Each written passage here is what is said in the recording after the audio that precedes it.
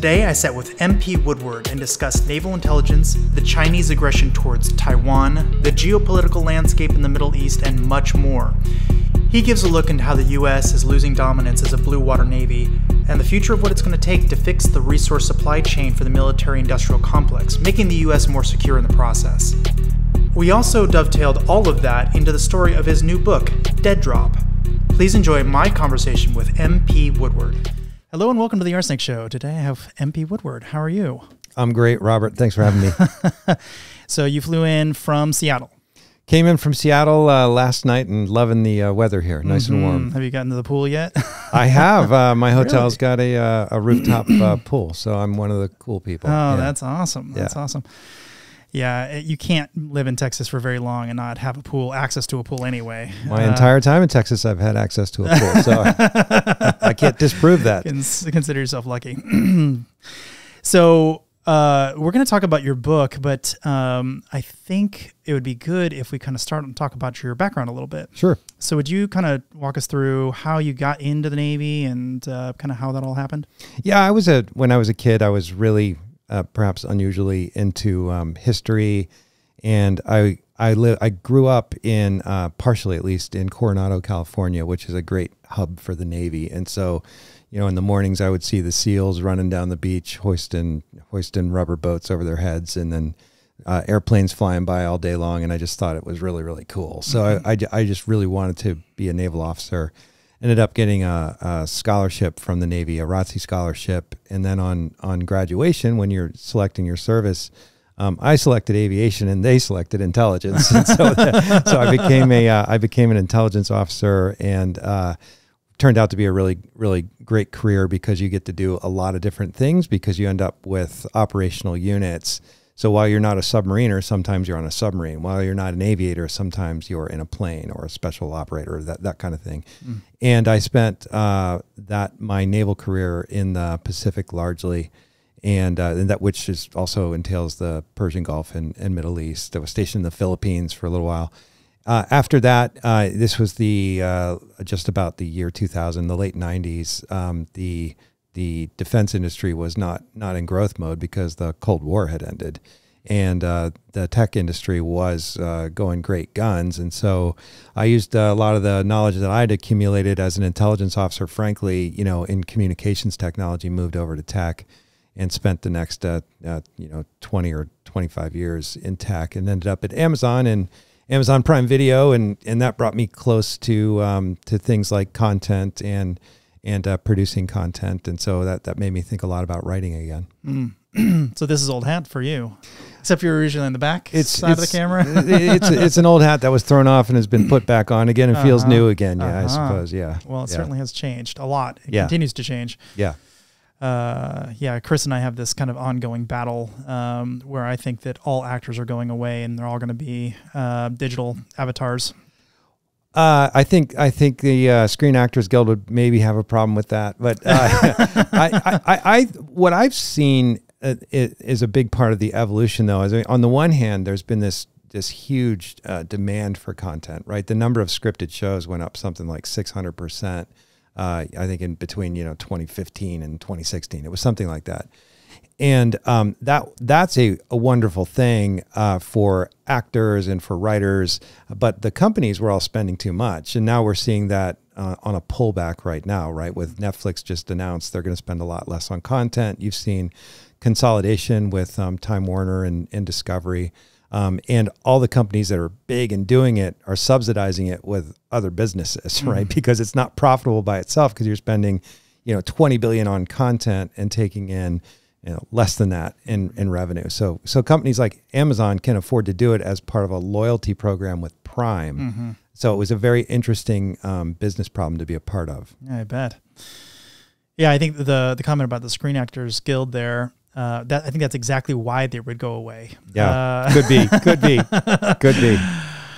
So, um, naval intelligence is kind of one of the weird intelligences in the sense that um, it doesn't get a lot of airplay. It's not the CIA, you know, it's not the NSA. These are the the ones that people think of. That's the mm-hmm. like right at the top of their head. In fact, people are probably more likely to think of, you know, James Bond and MI6 or MI5 or something than they are to think of naval intelligence if they were trying to name one or Mossad. Yeah. You know? Sure. So what is it? Uh, why do we have a naval naval intelligence? Well, there's something called the Office of Naval Intelligence that that coordinates all this activity, and there's a guy called the Director of, of Naval Intelligence uh, that that coordinates this. But but effectively, every service has an intelligence corps, but they they vary a great deal based on the mission of the service. So, for example, in the Army, you might you've ever heard the phrase G2. People say, "Give me some G2." G2 is code for the intelligence officer in an army unit, just like N2 is the code in a, in a naval unit. But army intelligence tends to be um, a, a, bit more about things happening in the field, which we call tactical, like, hey, where is this unit? Where are they over that hill? That kind of thing. Um, and given the army's mission, you would you would expect that, and they they certainly have higher level things as well. In naval intelligence, you're generally aligned with the battle group commander. So you're generally aligned with the admiral, a guy commanding a fleet, and you're talking about vast distances, you know, the entire Pacific Ocean, the entire Atlantic Ocean. And so your your your chief analytical problem it kind of two ways. There's a defensive one and then there's an offensive one. On the defensive side, you're constantly thinking about, hey, we're in this 13 billion dollar aircraft carrier surrounded by, you know, a fleet of 20 ships. We're we're we're the bad guys kind of know, right? They're mm-hmm. going to want to know where we are.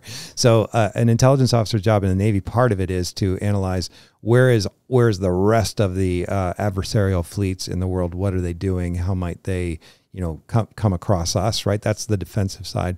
On the offensive side, a lot of people don't. Uh, well, you know, you wouldn't know unless you'd been involved in this. But um, one of the things that you you that every carrier battle group does as it's crossing the oceans to get on patrol on station, right? So right now there's there's aircraft carriers in the Mediterranean. There's probably one in the Persian Gulf. I don't know for sure. There used to always be one. Now they gap it sometimes, and there are a couple on duty in the Pacific.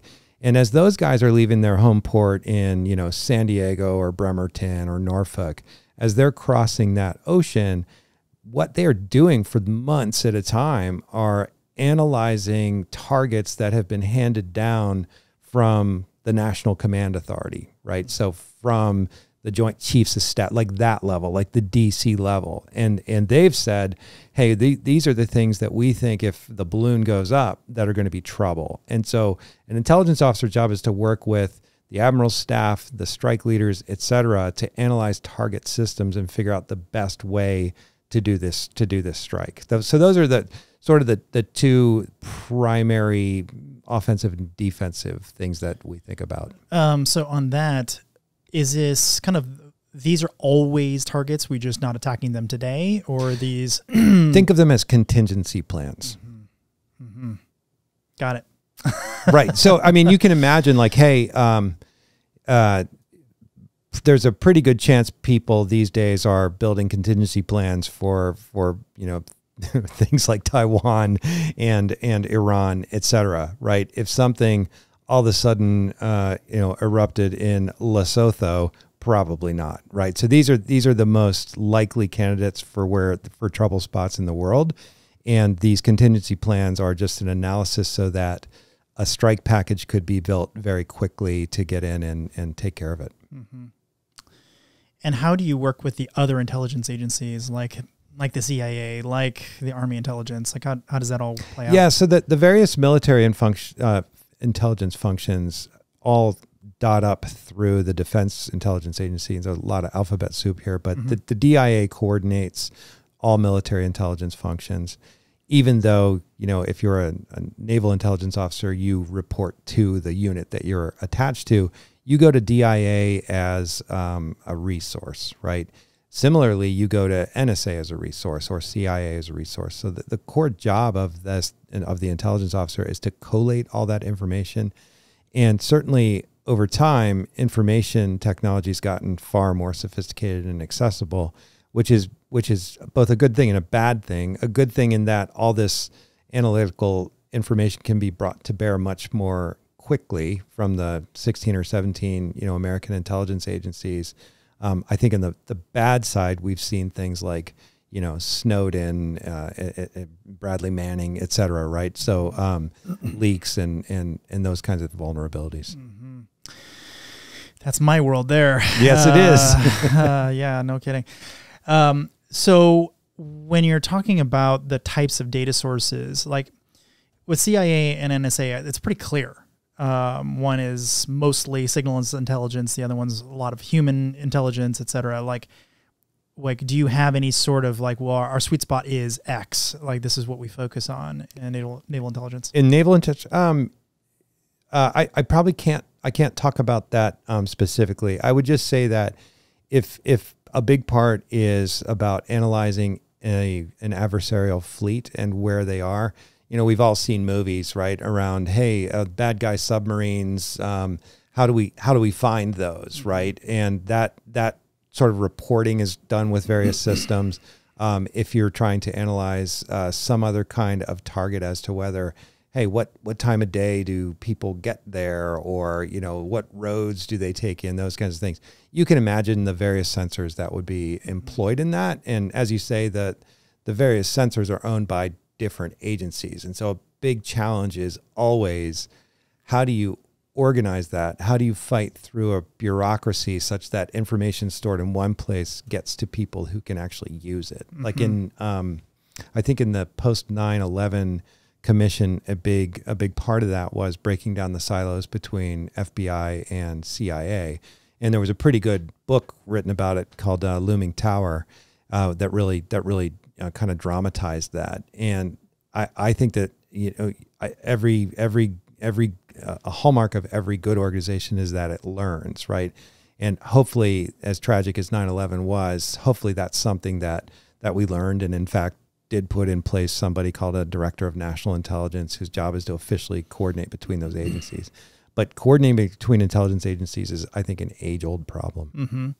But it also leads to, as you said, the Snowden types issues, but also like the OPM hack as well. Uh, you have all of the centralized data, and I realize it's a different type of data, but still, everything gets centralized, and all of a sudden, it becomes a really juicy target. And exactly right, exactly you know, right. I mean, it, it, it would be bad enough to get all of the Navy. I mean, that's pretty bad, but it would be way worse if you get every single intelligence well, agency. And, and and putting that in, in another in another context, um, one of the if, if as part of my research as a as an author, I'm always looking at conflicts between countries and potential flashpoints. Mm-hmm.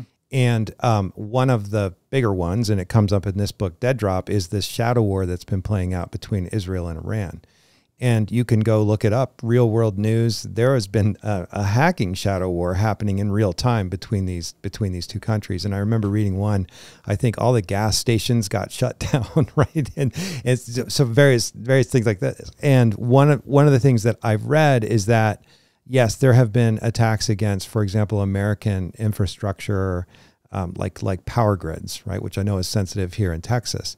But one of the things that's interesting is that we don't have a centralized power grid. We have many, many different small companies that feed onto a power grid. So it's not one big monolithic um, system.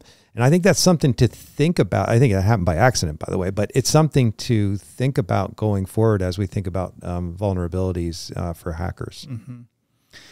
Yeah, there, I think there is kind of a massive debate in the security community. Should we have, you know, everything be homogeneous um, and therefore very easy to monitor and maintain and update and all that stuff, or we should have weird balkanized, balkanized separate things that don't really understand each other at all because it has much higher survivability. Absolutely, uh, absolutely, and I, and I guess it depends on the application as to where the the risk is better than the reward. Mm-hmm. Interesting.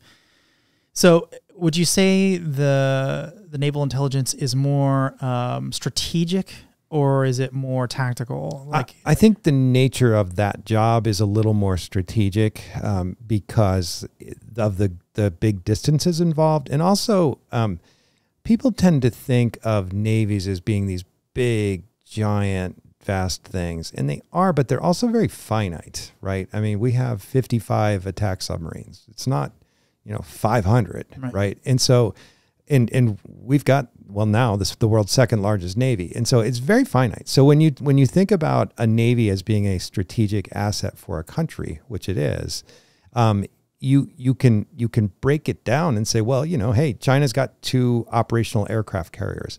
So it's of strategic value. Those aircraft carriers are of strategic value to China and therefore of strategic value for us to understand them and locate them. So I think the nature of the job makes it that way, as opposed to say um, in in the army where you know, hey, yes, you want to know where an, where an infantry battalion is, et cetera, but you're talking about thousands and thousands of things that can be um, distributed across across land masses. That makes it a little bit more more tactical. Mm-hmm. Yeah, I would imagine the distances, as you said. I mean, there's only certain things you can do at certain distances. Um, like a helicopter is just not going to be able to fly there. like, yes, you know, it's just it, never going to happen. Exactly, and and these days, it's um, missiles have changed everything. It's quite frightening. You know, really, uh, theater ballistic missiles um, are are are are deployed with you know all the all the potentially adversarial countries out there we now know that those um, theater ballistic missiles, you know, break apart when they're coming down and launch hypersonic glide vehicles that are very, very difficult to defend. These these things are maneuvering at Mach 10, mm. Right? And so that is a strategic problem to solve, right? If you've got a, a hypersonic glide vehicle coming at you at an aircraft carrier, that's a problem. In the United States, people think, well, I've got lots of aircraft carriers. We have 11. We have 11. And at any time, there's probably, you know, four to five deployed and probably four who are are in the yards going through workup. So again, it's it's actually quite finite. Mm-hmm. Yeah, I was going to ask you about what you thought about those hypersonic vehicles. Um, I mean, there's not a lot of great defenses against them. I, it's possible. I mean, I no one would call me that you know the the world's foremost naval analyst, but it is possible as I look at the particularly the Taiwan um, problem it's possible that this it feels a lot like a 1941 moment in that in in Pearl Harbor that we were a battleship navy going into that. And and we thought carriers were interesting but no one quite understood them. Whereas Japan really believed in aircraft carriers and and and more or less built their navy around them and used them to great effect. The the mistake that they made was that they went into Pearl Harbor and they sunk all the battleships and a couple of carriers uh, were out. And that let us recover and it became famously an aircraft carrier war.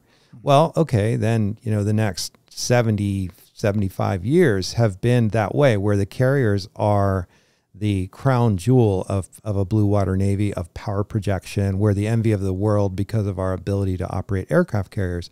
But when they become vulnerable from theater ballistic missiles and from hypersonic missiles, I think it causes people to rethink things, right? And so now all of a sudden the, the undersea battle becomes far more important because they're not vulnerable to missiles. But, you know, there again, we have to invest and stay ahead of things. So it'll be interesting to watch how people that do this for a living around force planning and keep in mind the timelines for when the Navy is making investment are in, in decades, right? These things have a, have a service life of, you know, 35 years, and then they try to extend them often. And decisions are, have been made, you know, a decade ago or 15 years ago about what our carrier force structure should look like. You know, we've kind of already made our bets and we're making new bets in the future, but I think we're going to see some evolution on that. I, I don't know that carriers are going to be, you know, the, the, the premier element in a true global war situation. I think mm-hmm. tactically where, hey, we want to send a message, we want to strike something, we want to, you know, come from the sea and hit, and hit something littoral for, for sure. But in a, in something like the Taiwan problem where everything is on the table, I'm I'm not as sure. So in Ukraine, I think now two different times uh, speedboat uh, style drones packed full of explosives have tried to take out uh, Navy ships on the Russian side. And certainly one of them has been taken out completely by a, a land based uh, missile. yeah, yeah. Um, that was not designed for that purpose. I think that there's something really interesting happening with drone warfare with these small arms that is just so it makes it so much more difficult to live in a theater where you're you know miles off a coastline or whatever. It seems like the only way to do that safely is to be so far out that really there's no reason for any aircraft or any uh, boat to be anywhere near you, so you have some sort of defensive sphere around you. You know, I the way I think about this is, uh, and this is what I think drives defense people mad. But every problem then has a counter problem, and then that counter problem has a counter counter problem, right? So, on the one hand, yes, the missiles could could make things such that wow, if you're in the theater, you're you're very much under a threat. So you need your own standoff missiles, or you need drones, or you need other things. Yet all of those things are going to be dependent on real-time data communications, right? They're going to be dependent on on low Earth orbit satellites and uh, really kind of somewhat flawless um, systems to to work well, which of course can also be hacked. So it's this. It's I think some of the irony is that as we get more and more automated and fancier and fancier, there's more and more a, a dependence on something that could also be vulnerable, and that's that's in the, the realm of um, of, of uh, data communications. Mm-hmm. So one of the things you did, if memory serves from from reading all your stuff here, is uh, you did some wargaming as well. You were actually scripted some of these war games. I did, and and it was a great pleasure um, to work. I for part of my career, I was with uh, what was at the time called the U.S. Pacific Command. It's now called the U.S. Indo-Pacific Command um, to represent the importance of uh, you know the Indian Ocean. Mm-hmm. And when I was in that job, um, the U.S. Pacific Command is typically an admiral, a four-star admiral, and most most people are familiar because of you know Desert Storm and the war in Iraq, et cetera. Most people are are familiar with CENTCOM, Central Command, and they know that whoever's in charge of CENTCOM is in charge of like everything the Air Force, the Navy, everything that's in that landmass. And um, U.S. Pacific Command, as I'll just call it, um, that that is the Pacific Theater. So it's everything in that hemisphere, and it's run out of Hawaii, and it's a four-star admiral, and so that that uh, it's almost always an admiral because it's a maritime theater. And within that, the this joint um, command thinks about things all day long. So a lot of people think the military just hangs out and trains until there's something bad that happens, but we've all seen the military get deployed for for other reasons. So yes, I did wargaming around you know an attack or a coup or something like that, but we also did um, lots and lots of exercises around things like uh, there's a thing called a NEO, N-E-O, which is a non-combatant evacuation order. And when there's a, uh, a tsunami in Bangladesh and there's you know hundreds of thousands of people hurt, you know the the the, the Navy and the Marines and the Air Force all respond. Uh, and so I got my job at that time was to write these these exercises. And yes, there were some war games, but there were other things too. And of course, that was great great training for a thriller writer because I, I, I tried to make them as realistic as possible, and they had to be unbundled uh, quite a bit down to basic message layers. And so I wanted, I wanted, I wanted everybody around the globe who were participating in these exercises to feel like they were invested. You know, yes, we want to, we want to rescue that family. You know, that that kind of thing. And it because U.S. PACOM is so um, vast, this is also where you get into liaisons with um, the the State Department, with the various embassies, with the CIA, with the because you're bringing all the resources that the United States government has to bear to solve these problems. Mm. So let, us walk walk me through one like uh, let's say Russia was about to invade Ukraine, for instance. I know it sounds crazy.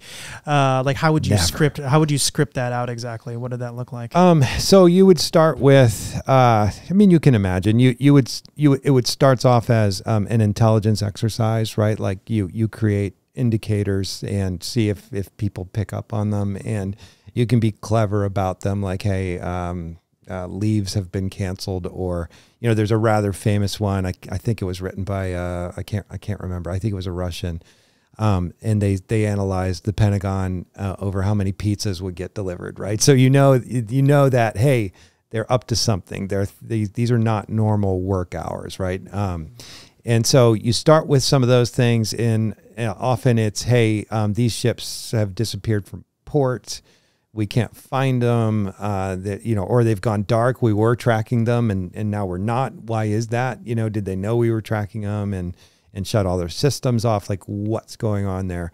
So you'd start there uh, and then if it's um, it, it, it, then that's going to spur a team to get you know into gear and just really start looking at it. And then you try to game it out as to how you think it would really go down, right? As to hey, they're going to move these units. Uh, the Wagner Group's going to get involved. They're going to they're they're most likely going to um, move the Navy down here to to try to blockade them. They're most likely going to send missiles in, and you you really just start writing the war. And that was my job was to kind of write the war, not the response. And mm-hmm. then and then I was supposed to do the counter response to that. Not just me alone. It was me and a, and a team, but sure. it was super fun to work on. I bet. Um, I remember hearing something. I think maybe it's the NSA. I'm not sure uh, they have sort of a a um, newsletter that goes out once a month. I don't know, whenever. Uh, that's basically like some counterfactual, like what if the world suddenly had this crazy thing happen? Like, what if we found like this enormous oil reserve or something? Or what if we found out that actually oil, oil reserves were just totally depleted by accident or something? You know, some weird event. Okay, well, and then here's what happens, and here's how the world evolves from there. And um, if memory serves, it's one of the most subscribed like internal newsletters. Uh, oh wow! How do I get it? Uh, Sounds good. I think you have to work there, but uh, but it, but it's it's all you know BS. You know, it's none of, none of it's real, and the chances of any of it happening is basically zero. But it gets people thinking, oh, here's all this weird stuff that might occur in these weird situations, and kind of gets their brain going. And maybe they can apply some of the like little bits of weirdness to something they're working on like oh actually i bet this thing's going to happen over here. And yeah. Uh, it, it is inherently all of this is an inherently very difficult problem of course right? Because you're you're dealing with you know the the chaos of a real world where just about anything can happen right if we knew it was going to happen we'd all be rich in the stock market um, so if you start from there then think about the planning that has to go into it and the lead time to do that really, really successfully. Um, I think that back in the, well, in 1989, the Cold War ends, the wall falls, all of a sudden people started talking about a peace dividend. And we started, we went from, you know, 13 carrier battle groups down to 11. All of a sudden, did, did, didn't need them. And then, and, and even at that time um, in the 90s, uh, folks in the Pentagon recognized that, hey, the future adversary is probably China, right? A country that big with that much potential um, will want to be a big sovereign regional player. And so a lot of force. When, when did they design this? I think back in the 90s, you know, and so a lot of force planning went into this um, doctrine that's that is well known that uh, the U.S. used to have a doctrine that said win, win, hold, right? So win a war here, win a second war, so a second front, and hold a third front. Um, and so they would plan and say, all right, you know, if the Russians are a problem, we need need to be able to win in that in that theater. If China's a problem, we need to win in that theater, and we need to be able to hold something if somebody else has given us trouble, right? Um, but over time, uh, 9/11 happened, and then all of a sudden, the the problem did not seem to be, you know, great power competition. The problem seemed to be Islamic fundamentalism. And so it became much more around, you know, beating terrorists and finding, you know, spending a lot in terms of special forces and littoral warfare. So the um, the Navy invested in, for example, these ships called uh, littoral combat ships that um, have been very short-lived thing. yeah, very very short-lived, and and so spent you know billions of dollars to develop these ships. And I'm not going to say I'm. I mean, they they have their mission, but they in a in a in a blue water competition with a peer power like China, um, you would say, well, why did we do that? And you're like, well, because at the time, you know. So now the Navy's looking at, gosh, we need to make a decision. Do we we have to replace F-18s that have been flying for you know 30 plus years with the next generation fighter? We have to replace the Ohio class submarine with the Columbia class submarine. We have to um, replace the current Virginia class submarines, which we still is are still being fed in, and and they've just replaced Los Angeles. But there's an SSN X, like a next generation thing there. We, we have to figure out drones, and we've retired all these other ships except for Arleigh Burke class destroyers, which are kind of now the the workhorse of the fleet, and those are going to have to be replaced. And the lead times are 15, 20, years and or um, more yeah, or more and we've already decided okay we're going to we're going to replace the uh, Nimitz class carriers with the Ford class carriers, for example. And so the first one is operational. The next five or six are on the way. So the money's been spent, right? And then the, I think the next greatest priority, the Navy has signaled that, all right, the next most important thing are the uh, SSBN Ohio class carriers because the first one retires in 2020, it hits end of service life in 2027. There's only 14. Mm-hmm. They basically go out every year after that. So it's from the Navy's point of view, it's like, look, if we want to maintain the same force structure we've had in the past, we don't really have a choice but to spend, you know, billions on billions um, in in that program, and that means delaying something else. So it's it is a very real problem when we see a China that is now much larger than the U.S. Navy and will be much larger in the years to come. Mm-hmm. So what do we do? I mean, is this just spend more? I mean, well, I think I think that there is a someone needs to get realistic with um, with the American people about setting priorities and budget priorities, and unfortunately, our politics don't don't seem to allow that. I'm a little bit encouraged by um, what I've I've seen some some good some good Congress uh, members. Uh, there's a there's a China committee, um, for example, uh, headed up by Congressman uh, Mike Gallagher, and they're it is bipart it is very bipartisan committee, and they have been very realistic about about this problem. And just just to illustrate it, just in so people can understand some numbers, around 2015 or 2016, um, both the U.S. Navy and China had about 290 ships. 290. We had 294. As we look ahead to 2025, we go from 294 to 290. They go from 290 to 400. Wow.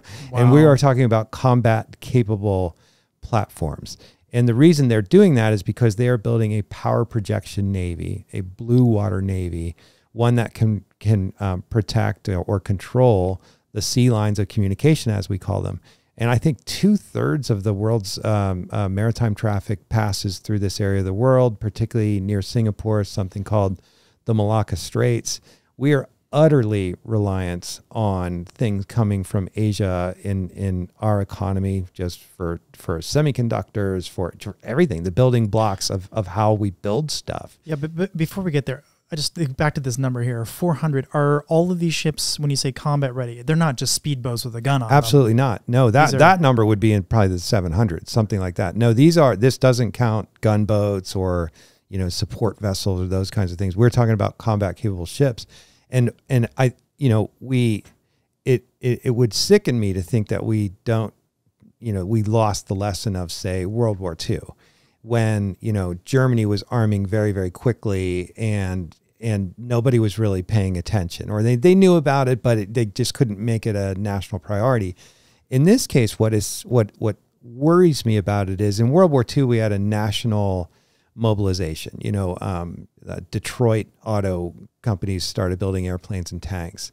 In this case, what's what's troubling is that we have fewer shipyards, right? So we don't we we we have very few shipyards at this point, and then everything we're building is also reliant on you know certain rare earth minerals, certain semiconductors that we get from Asia. And so I'm I'm nervous about Eh, you know the ability to just it's not like building an engine and saying this engine goes into a Jeep instead of a you know a, a Chevy sedan. The, these are these are much more complex systems, and I'm I'm particularly worried about right now. While I I certainly want Ukraine to prevail, I I am very worried that we are supplying weapons that are that are hard to replace and have a significant lead time to replace. That's going to cost money, and we and it's got to come from somewhere.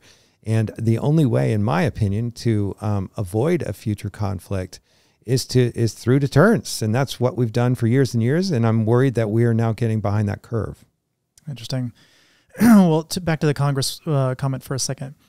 Uh, did you watch the TikTok um, uh, debacle? I would say when they went in and I got di- grilled. I, I, didn't watch it. I certainly I certainly followed it though. Oh my! I mean, I don't think I've ever seen all of the different senators, uh, I think it was senator, congressman, I can't remember, all the different representatives just grilling them, and from both sides. It, it, some people were slightly less cruel, but all of them had effectively the same point: we don't trust you.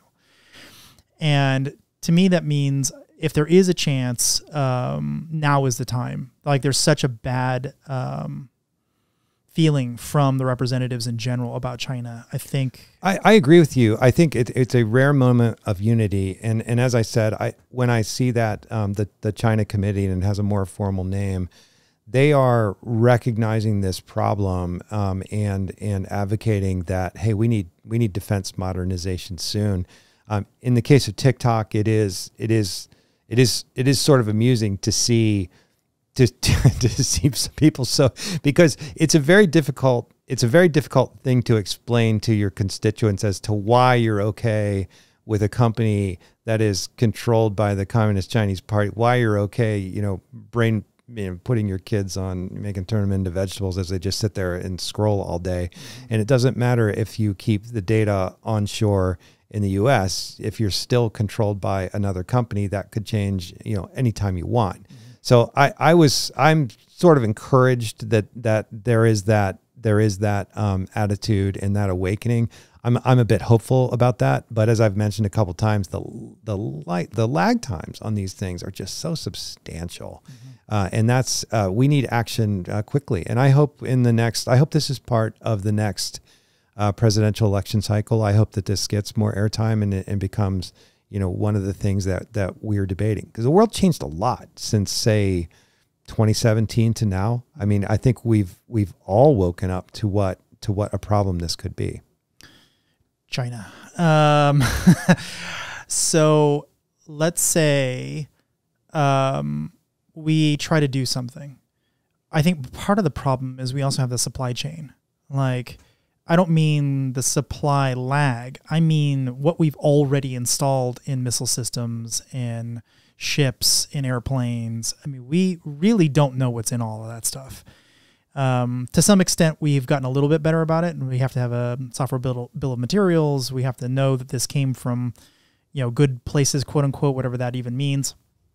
But there's really no reason to believe that one or more of those pieces of equipment have been tampered en route um, I see hundreds of places and a normal supply chain where you could get involved and do something bad. And the chances that no one has ever done anything bad to all of those systems is zero. It really is zero. At minimum, know exactly all their specs so that they can do something later or hack on the software later, right? So how do we solve that problem? Are we going to bring chip manufacturing back to the United States? Like, how does that work? Oh, I think chip manufacturing has to be diversified. Um, there is a, it's a simple fact that over the years, it became a better business model for um, logic chip manufacturers and DRAM uh, manufacturers to get out of the fabrication business because the fabrication business is 100% about scale and, and buying machines that are incredibly complex and having workers who you can you know train to to do it for less money. That all happened to evolve in of all places Taiwan. So now even though we we hear about big um, big chip companies, the fact is is that those big chip companies they have a design, and that design is not fabricated in the United States. It's fabricated somewhere else, and so. Uh, TSMC, the Taiwanese Semiconductor Manufacturing Corporation, um, they have a couple, they have several fabs in Taiwan and in China. So we we literally have this problem of well, if everything we have, you know, we've we've moved into a world in tech where it's the Internet of Things, and now it's the Internet of Everything. I mean, it's pretty hard to find uh, an object that turns on that doesn't have some kind of a semiconductor uh, chip in it. And if all those are fabricated overseas, even if we had diversity in, say, you know, India and Vietnam, et cetera, well, there's still an ocean between us and and those places. And so, yeah, I, I do think that there has to be a literal ocean. And and this is one, yeah, a literal ocean. And this is one of those things that to me is a, a good opportunity for public private partnership. I mean, one of the reasons Taiwan got to where they did for chip manufacturing is because the government recognized that, hey, we already have a leg up here. We are already doing this for companies. Why don't we provide incentives? And the guy that runs, you know, TSMC or or did is a former Texas Instrument. I mean, they came out of right here in in you know in Texas, and uh, and said, Hey, I, I think there's a better opportunity here. Taiwan looks like a good place to do it. They're going to help subsidize factories. The workers are cheaper here. So all of a sudden, they're putting in machines that really can't be duplicated easily. And again, it gets back to lag time. To just do that in the United States is not something, you know, a couple of cranes operating around the clock is not going to get this done in, in four or five months. We're, we're talking about a couple of years. And that's, it's, it, it I think it's a very strategic vulnerability. Mm, me too. So, what do you think is going to happen? Do you think they're going to invade Taiwan? Is that definitely going to happen, or is that unlikely? I, or what? Um, I, I, I think okay. So if you break that that problem down, most people will say, "Hey, they don't have the um, amphibious ships to to do it." Right. So I think a more likely scenario. And and we have we have a very capable submarine force and amphibious ships would be you know an easy target. And submarines are not an easy target for missiles where I think um, China has a significant uh, advantage. But I do think that China will get to the point where they could say blockade Taiwan where we would have a hard time um, defeating that defeating that blockade. And the trouble that that that I have is that you know we sit around and we go, yeah, uh, that's true. By 2035, they're going to be able to do this, and so we're building for the. So if you're if you're China and you're sitting there going, well, the U.S. appears to have woken up, but it's going to take them, you know, five to ten years to to to kind of get there to figure this out. I mean, don't you have an incentive to move sooner mm-hmm. rather than later? That's the thing that um, that most that most worries me. Uh, so I certainly hope that's not that's not the case, and I, I certainly hope we can find a way to to live in a world where where you know where that conflict doesn't happen. But I think the best way for that to happen is is through deterrence. That's going to mean that we make choices on the defense side. It means turning Taiwan into a very tough offensive problem for them. So, I mean, we just watched Russia more or less get their butt handed to them in Ukraine uh, over the last year or so. Um, now, granted, they haven't launched nuclear weapons. There's a bunch of things they could be doing that they haven't done. They have a lot of reserves that they've not put in, etc. So we're not seeing the full force, but we're seeing a pretty good representation of what the force might look like. It, what do you think that's doing to China's morale and uh, feeling about all the weapons they've just purchased from Russia? well, China has a very substantial defense industry themselves, and they do not have the same supply chain problem that that we have um, for a physical supply chain problem. Now, the, here's here's another thing: is that as we design chips yet manufacture them in Taiwan, and as we perceive China to be a threat, we've done things like said, all right, well, we're going to uh, not allow China to buy certain chipsets, right? We we cut Huawei off and ZTE off for telecommunications chipsets, and as we do that, that that could, you know, somewhat ironically provoke a China to act uh, again, right? So I think that that's that that's an issue. Um, but I that looking at the numbers they have, at the shipyards they have, at the the types of um, sophisticated weapons systems that they're building right now, I don't think that they're I don't think that they're sitting back saying we've got a bunch of junk from from Russia. I think they've got their own stuff and they're getting more and more um, sophisticated about it. And it is they have a they have a different strategy, right? Uh, Putin's trying to win a land war in a big country like like Ukraine. Um, clearly wasn't ready for it. Right. Um, China is doing something different. They're saying, yes, we want to we want to bring back a lost province and and reunify, you know, Taipei.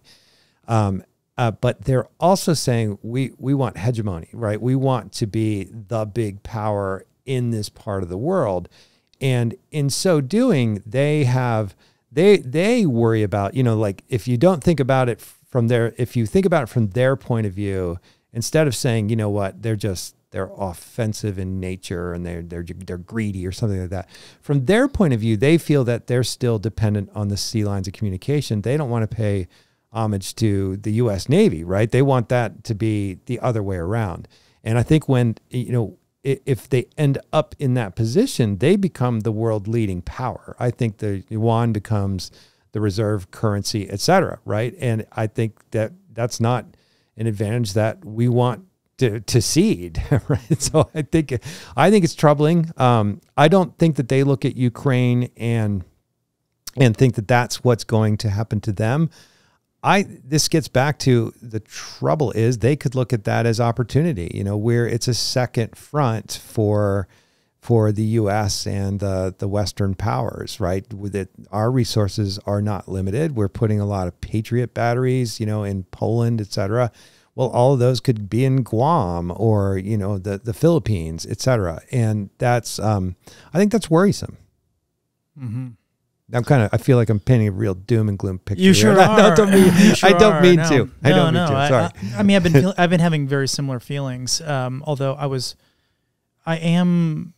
So the Russians and the Chinese have similar uh, philosophical design uh, in terms of uh, the Communist Party controls things on down. I mean, I know Russia has evolved a little bit since then, but but effectively the same.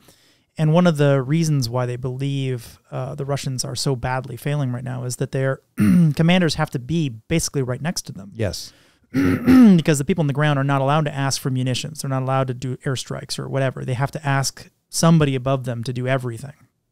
Whereas the U.S., the West, NATO in general, um, they say, "Hey, I need a, a drop right now. Put him right here. Uh, here are the coordinates. Let's go." Um, and everyone just knows that that's the right thing to do, and they just follow through. And and yes, if you really screw up, you get court-martialed later. I don't see why China wouldn't fall into that same sort of strategic failure, where they would have to put their regional commanders right up front just to do anything. I mean, even even to move the boats around, you know. I, I, I think that's right. Um, the U.S. has had a long uh, a long advantage in that it's it's all volunteer army are is very professional. Um, its troops are highly educated and and um, motivated, and it has a, a standing professional officer corps that's that's really really well trained and is trained to operate um, somewhat more autonomously. You know, and you know just as an example.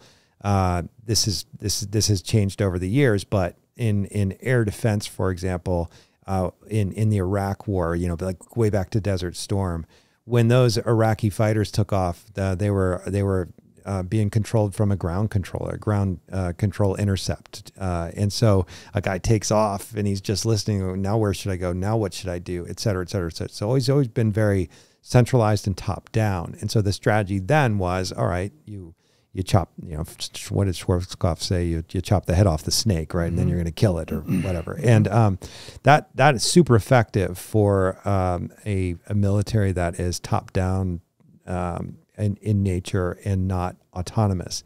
The trouble I have with China is they know that, right? They've seen our tactics on display for years and years uh, in the Middle East as well as um, Afghanistan and, and Syria, et cetera.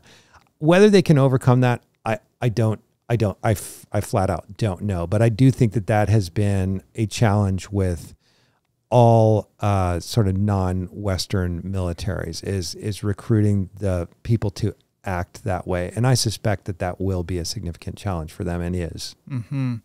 And then the other one is uh, this was actually kind of just a hilarious video.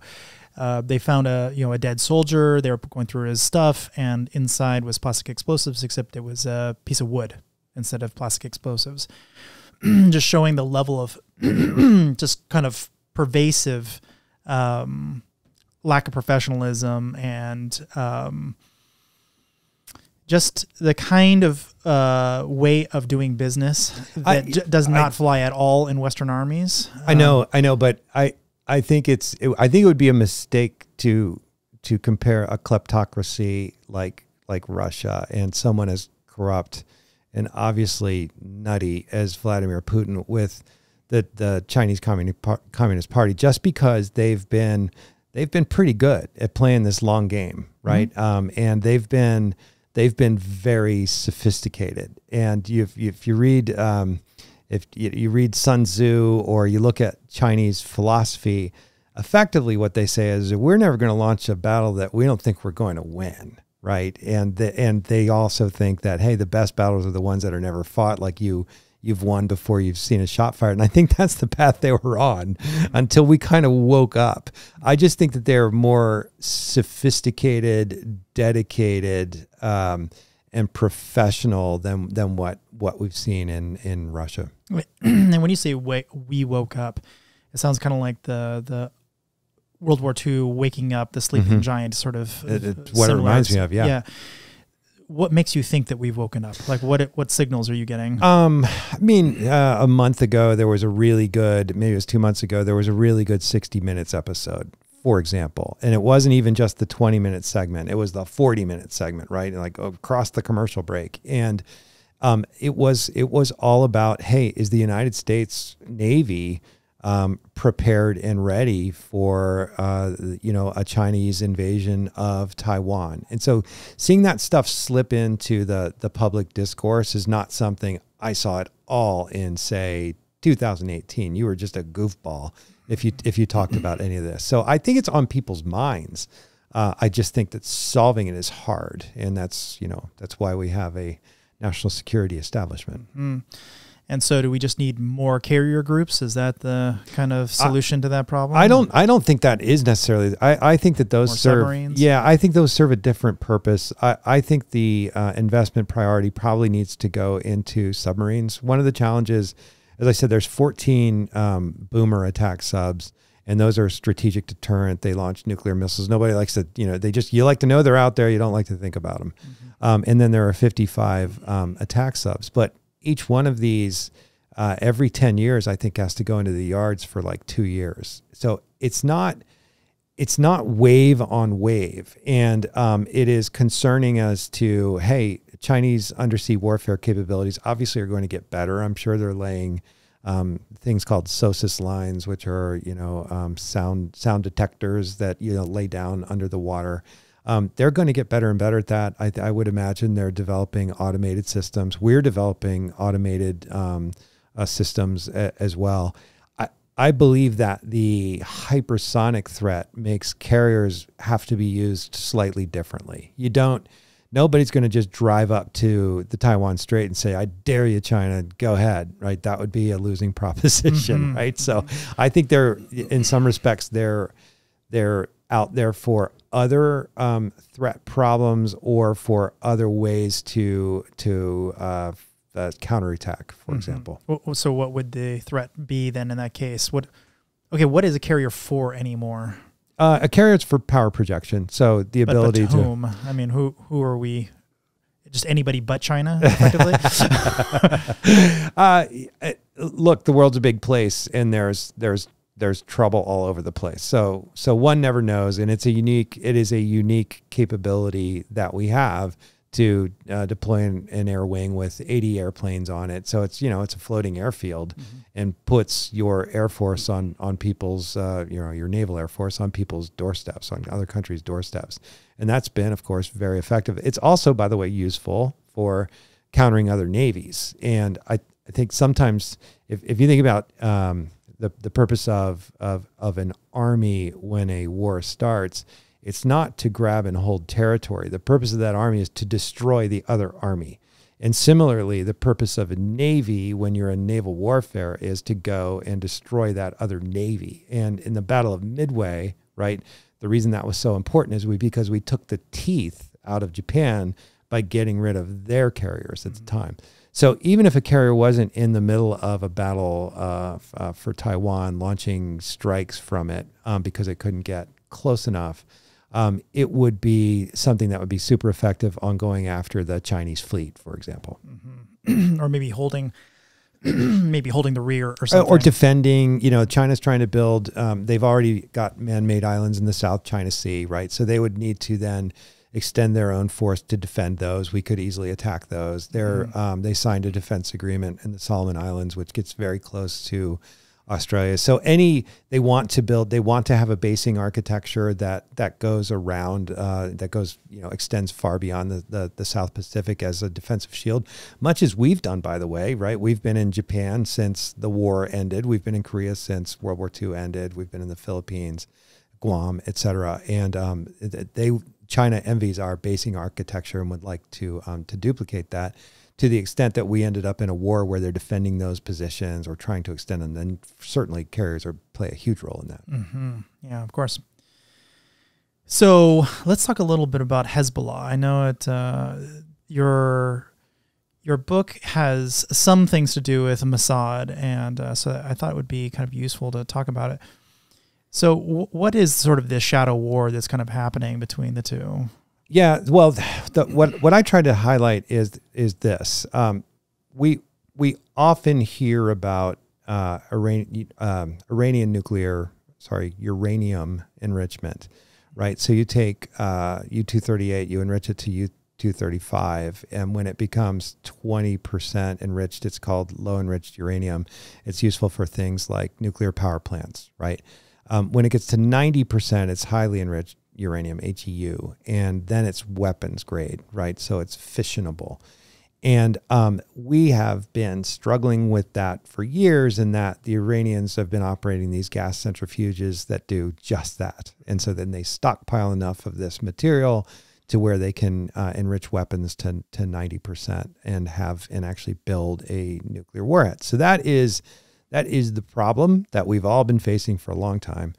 Um, the Obama administration signed a deal, the JCPOA, the Joint Comprehensive Plan of Action, back in 2015, I think it was, uh, that said, all right, Iran. And Iran's point is, hey, we actually have nuclear reactors but built by the U.S. By the way, yeah, really? one, one of them, one of them built by Russia, but yeah, one one was built by by the U.S. and these these need low enriched uraniums, and so and so you know for years the the debate has been.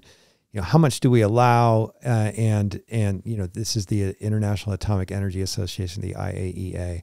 How much do we allow uh, Iran to do, and can we inspect? That's always been the issue. And uh, in the JCPOA, that the, the the strategy was we will we will keep Iran motivated to not go to HEU, right? But to, but to allow them to do LEU and come up with sort of safe storage sites and an inspection regimen and things like that, and then we'll ease up economic um, sanctions. The trouble, of course, is that nobody can really trust Iran, right? Like, were they living up to it? I, I don't know, but certainly there's a lot of people who say no, and there have been there were there were subsequent inspections where it sure looked like they were they were cheating, and so then the next presidential administration under Trump killed the JCPOA in 2018, and so all of this debate focuses on wow, Iran's looking at enriching uranium to the point where it could be weaponized, and Iran also has ballistic missiles. So now we worry Iran's going to put a ballistic, you know, a, a, nuclear weapon on a ballistic missile and it's going to go and it's going to take out Israel, their their sworn nemesis. Israel, of course, is not going to allow this to happen is and is going to be very aggressive. What I what I highlight in Dead Drop is that it's not as simple as that. It's not as black and white as that, um, because there's this there's this group called Hezbollah, and you know most Americans have heard of Hezbollah, don't necessarily know what it is, but they are they are uh, an extreme Shia Shia Muslim fanatics that are sponsored and built by Iran, specifically something called the Quds Force, which is, you know, kind of a combination of, I don't know, the CIA and, and the, the Green Berets, right? And so they go out and they build up these proxy armies. Well, they started the Hezbollah project back in the 80s. These were the guys that were responsible for uh, bombing the Marines in 1983 in, in Beirut.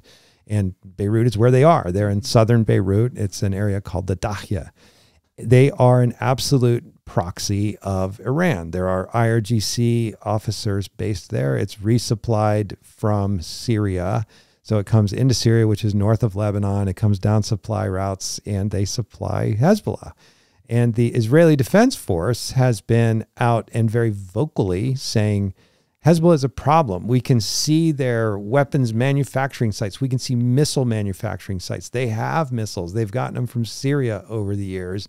This is a challenge. And so, what I set up in the book is that there's a, a U.S. presidential administration that very much wants to continue to contain Iran, right? And uh, actually, the book is set up post breakout. So Iran has enriched, you know, has the capability now to enrich nuclear weapons, and it becomes a policy debate within the U.S. as to how to handle that, right? How do we contain them? North Korea has nuclear weapons as well, and so there's a certain containment strategy there.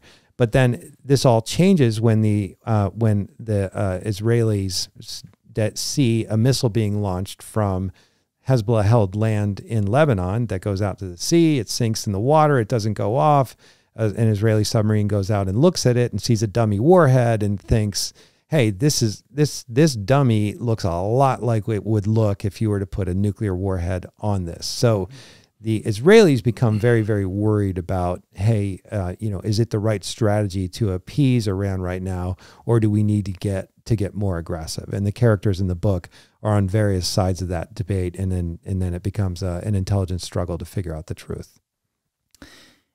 So this is kind of real. I mean, this is almost a real thing that's happening. Um, um, I mean, it seems like at least once or twice uh, a decade, you hear about some nuclear physicists getting blown up. Uh, if you look for it, you can read. You can literally read about the Iran uh, uh Iran Israel shadow war on almost a daily basis. So the the Israel Times this morning, so like I mean six hours ago, there was an article about um, Iran coming out with a brand new ballistic missile and announcing it, and the Iran and the Israelis you know, freaking out about it, eh, as well as new information coming in on their main nuclear enrichment site at a place called Natanz. Well, the Israelis are publicizing, um, you know, satellite photography that shows that they're building this very, very deep underground facility. Why else would they, you know, be doing that? Um, and so this, this, they are, they are trading shots all the time. And I tried to put into the book um, some, some. I fictionalized them a little bit, but, but they are are real incidents where the Israelis have knocked off uh, Iranian scientists in some very chilling episodes. Um, and they're doing that because they see this as an existential threat. They recognize the Hezbollah problem. They recognize the ballistic missile problem, et cetera, and they feel that uh, not enough of the world uh, is paying attention to this. So, if you were trying to uh, kind of steelman their argument, um, are these people like purely evil or are they just passionate about protecting their land and they feel like they're under threat? The um, Iranians, you mean? Yeah. Like how how do how would you how would you try to defend them if you were in court and trying to help out their position? Yeah, I I think that they have a reasonable point on needing low and low enriched uranium to operate these power plants, et cetera. Um, when it comes to to uh, the weaponization of them, they will say, well, you know, we're we're not doing. They might say publicly that no, no, no, we're not we're not doing that. But but privately, at least in my research, I think the attitude is, why on earth is Israel allowed to have nuclear weapons? And by the way, Israel is not a uh, signatory of the um, of the Nuclear Non-Proliferation Treaty, which is somewhat ironic, mm-hmm. right? They're not. Mm-hmm and they're very tight-lipped about their nuclear program, but they have one, yeah. right? And Iran doesn't. And I think one of the more troubling aspects would be a, and it's probably already happening, but is a world in which there becomes a nuclear arms race across the Persian Gulf region. And Iran's goal, is a bit like, I mean, less, less, less, uh, less ambitious than China, but they want they want to be you know the power of the of the of that region. They they, they call it the Persian Gulf. We call it the Arabian Gulf officially in the Navy because we don't want to like calling it the Persian Gulf. But Iran, Persia, you know they they want to be the the hegemonic power in in that region. So just like Russia says, "Hey, we want to own, you know, the Black Sea and and and this area," and China says, "Well, we want to own the South China Sea." Iran says, "Well, we want to own the Persian Gulf," and we kind of through the United States Navy say, no, there's something called freedom of navigation and international rules and maritime law. And no, you don't just get to seal off a whole part of the world for you. Um, the, the, other, the other, so I think if if I was asked to defend Iran, I would say you can you can kind of see their point that they are being treated um, very suspiciously naturally. But at the same time, their stated policy goals are the destruction of Israel. So that becomes very hard to defend. If they normalized relations with more countries, um, uh, like like Israel, if there was sort of a, a, a rapprochement or a detente there, then then I think that argument would would hold more weight. I also have seen the Iranians do something that is clever, and that is taking advantage of Saudi Arabia and and the um, the you know another powerful country in the region. The relationship we've had with Saudi Arabia has deteriorated somewhat, and because of that, we we we can't tell them what to do. Right? We don't have a lot of leverage over Saudi Arabia these days. Well, Iran went in and said, "Hey, why?" You know, Iran and Saudi Arabia have been sort of enemies, uh, you know, on the other sides of proxy states. And they've recently gone in and, and started to, to normalize more relations. They're doing that with the Gulf Cooperation Council. In so doing, they sort of take away um, American allies. And I think it is a very clever strategy on their behalf. Mm. Yeah, I, have been kind of worried about them for a while for a number of reasons. Um, but it also seems like Israel has equivalent of a boomer. I don't know what, what it's called. Um, and they have sort of mutually assured destruction sort of built into their doctrine. So I don't really see how Iran having a nuclear weapon really helps them. I mean, it seems like they're better off with guerrilla warfare. Uh, just it doesn't seem like having a nuclear weapon really gives them very much. I, I think what it is is it uh, think of it as leverage, right? So um, mutually assured destruction is still mutual, right? So so right now if they don't have it, if if Israel can just say, "You know what? We're a little we're a little uncomfortable where things stand. We're going to launch this giant air raid and just take you apart." Israel's calculus would be a lot different if there are literally nuclear weapons staring them down the face, mm. you know, via these cruise missiles and and and potentially Hezbollah. That's always the challenge, right? We see that with North Korea. We used to be able to say, you know what, North Korea, that you know, we're going to put an aircraft, you know, we're going to do all these things, and now they've got nuclear weapons. Well, that's that that changes things, right? When they've got when they've got stuff that can hit Los Angeles, you treat them a little differently, and that's that's what Iran wants. But clearly, I mean, if if Israel wanted to drop nukes, they could do it today. Um, they could, but who, you know, I mean, they don't want to. That's no, nobody point. wants to. Yeah, yeah. Nobody ever wants to be to be in a first strike. So I, I think that again, defending the Iranian position, they would say, why shouldn't we be at defense parity? Right? Why do we have to be the second class citizen that the whole world looks at and says we're not allowed to have these? We're a big country. We're a regional power these you know Israel hasn't even signed the NPT. How is that? How is that fair? Mm-hmm. And and that's a good point. Yeah, I mean, it isn't. It isn't. It depends. Yeah. I mean, you know, when you're an irresponsible regime that's that's the world's largest state sponsor of terror, right? right. I think we have a different opinion. Right. Sure. Um. Okay, so let's talk about your book a little bit. Um, how did you come up with this book? How did you decide to write this? Um, really, uh, partly because uh, in my background, I did focus a lot on on Iran. I have been um, worried about this exact situation that Iran, once they achieve breakout, and I think it's inevitable that they will. Um, they're they're clearly working on it. Um, once they achieve breakout, I worry quite a bit about the leverage that that that that gives them.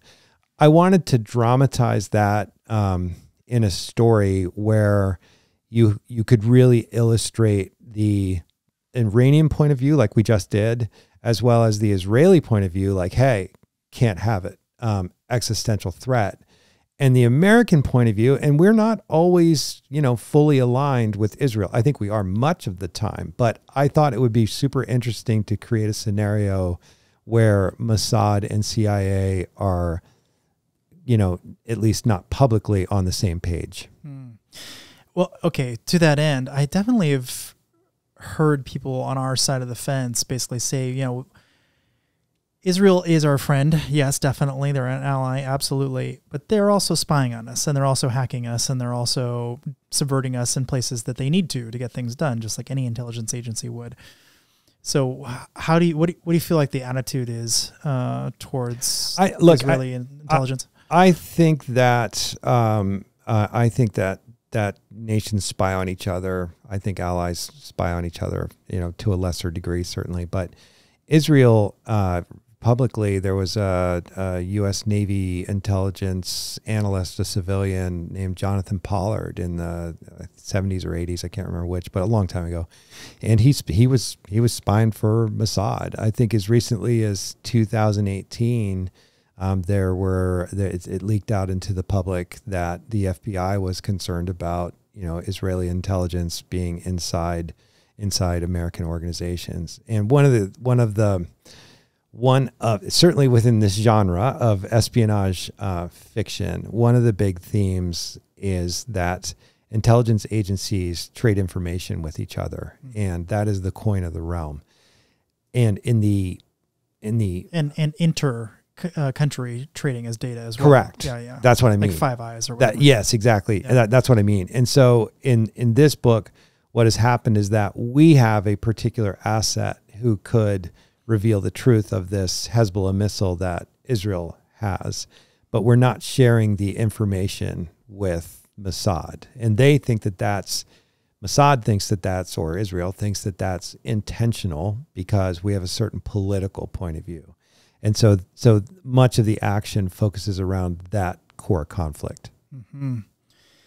And so, why does this bother you? I mean, why are you worried about this? I mean, let's say, let's say Israel does get nuked. How does that affect you here? How does it affect the average American? Well, hopefully not, not much. But uh, I know, I know. But so, I so what? Would, I mean, I think it would can, be a massive effect. No, it's, no, I know. Uh, uh, so my question is, well, obviously China chip manufacturing, if Taiwan just went away, we would not have yeah. cameras. We wouldn't have cell phones. We wouldn't right. have anything. Right. What happens if we lose Israel? Well, we lose our most dependable ally in the in the Middle East. Uh, I think that you know we we are still in a world where there's oil, right? So it isn't just uh, a dependence on chips and technology. Um, I remember um, hearing that during COVID, we used something. I'm going to get these statistics wrong, so nobody write me. But uh, I, I, remember hearing an analyst say something like, "Hey, uh, in normal times, we uh, we go through 100 million barrels of oil a, a, day, or I can't remember a day or a week or whatever it was. But COVID, nobody's driving, uh, nothing's happening. The number didn't go to zero; it went to 80."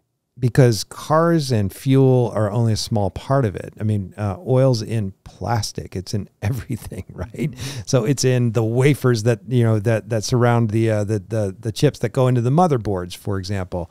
Uh, so I think that that that becomes an issue, um, and uh, I I don't think that we would want a a power who is a uh, Islamic revolutionary power, theocratic government who's who is hell bent on destroying another country to have even more power and to have the ability to hold the world hostage if they want to.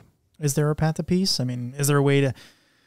I think to it's get a, them I, together in a room and just hammer it out. I think the the reality is is that deterrence ends up um, ruling the the day. As you said, it's unlikely that Iran would do something when Israel is going to uh, going to do something back. At the same time, if Iran wanted to, for example, feed a bunch of rockets into Hamas, right, or Hezbollah, conventional rockets, and rain them down and make life miserable for um, for Israel for whatever reason, right? Uh, then Israel in the past could have said, you know what, that's it. We're going to go knock out some some stuff. Um, so I mean, not not that long ago, they hit a convoy um, that was coming down from Syria. Like they act all the time in a conventional way. Well, when you're you know, staring a potential nuclear weapon as retaliation for that, your calculus is just different. Mm-hmm. So mutually assured destruction is the way to peace. It sounds like.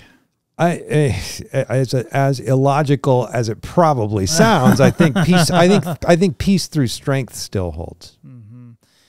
Um, I had a guest on a while back, and he was basically his claim was that only works if you have just one or two superpowers, but if you have tons of regional I, powers, I, I agree. I mean, seem to work very well. well. And that's the problem is that you don't. It, it, it assumes somewhat rational actors mm-hmm. too, and I think in the case of Iran, you you you can't necessarily assume that. One would hope you can at least assume some of it. And don't get me wrong, I think policy number one should be the prevention of Iran getting nuclear weapons capability. And I know that there are lots of people that, who work on that, but I feel there's a there, there's sort of an inevitability that they're going to get there. They've just got too much expertise, too much infrastructure right now happening, uh, and you know the Russians are probably in there helping them out. They built a nuclear reactor for them at Bushehr. I think I think as frustrated as Russia is over the Ukraine thing, they they have an alliance with Iran. Iran's been supplying weapons that you know these these things end up raining down on poor Ukrainians. So that alliance has only deepened. It would make sense to me that um, that the Russians would would enjoy seeing an Iran that that bothers the West too. Mm-hmm. So okay, if that's the case, what do we um, what are we doing? Even bothering blowing up a couple of convoys here and there, or taking out one or two um, you know scientists or whatever if this is an inevitability if we are if you and i agree that that's going to happen why even bother trying to slow them down um I think that you can buy time and try what to get. that what does that give you though i mean I mean, ultimately it, it could get you, it could give you a more moderate regime in place. For example, um, Khamenei, who is the the current um, supreme ruler in Iran, is pretty old. I think the the folks that precipitated the revolution in 1979 are aging out, right? And so you could have another generation of Iranians who are tired of this. Um, not that long ago, um, you had a 20 year old girl get arrested. Um, they first picked her up because she was wearing the wrong pants, and then they said it was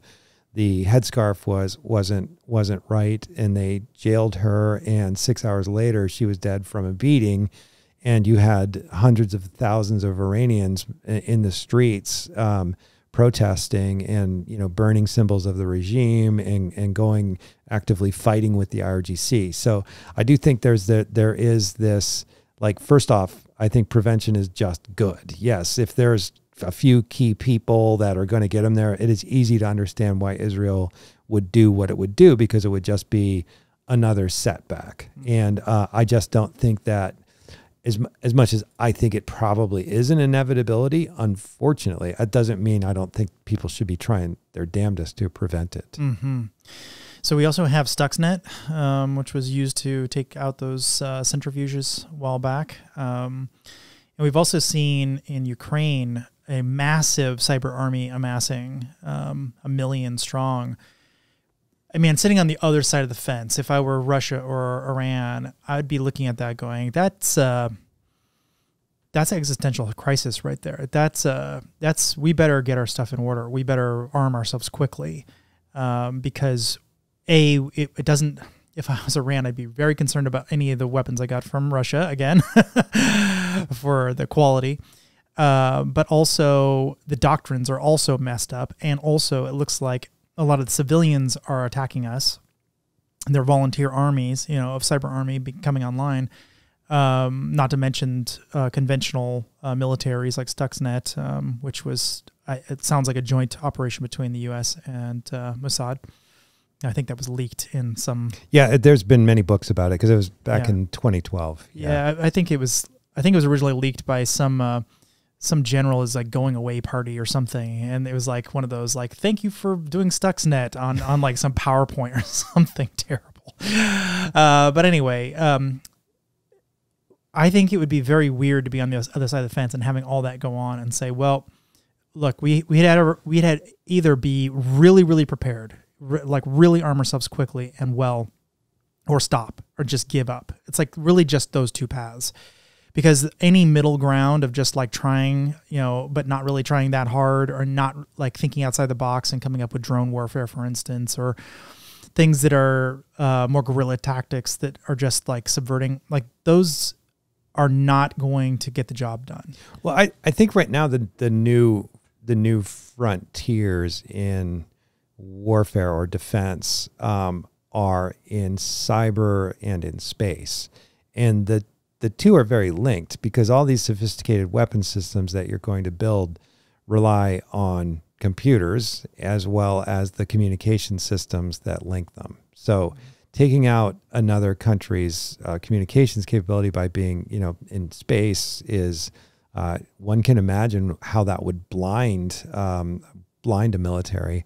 And cyber does the same thing, can wreak all kinds of havoc. So I think there's a ton of investment going in there. The the, the danger I think with that, what's a little scary, I guess, about that stuff is that when it when it comes to to cyber, it's this there's a David and Goliath aspect um, where you can be a country who doesn't have, you know, Iran does not have a big air force, right? It is very small. Um, it's practically non-existent.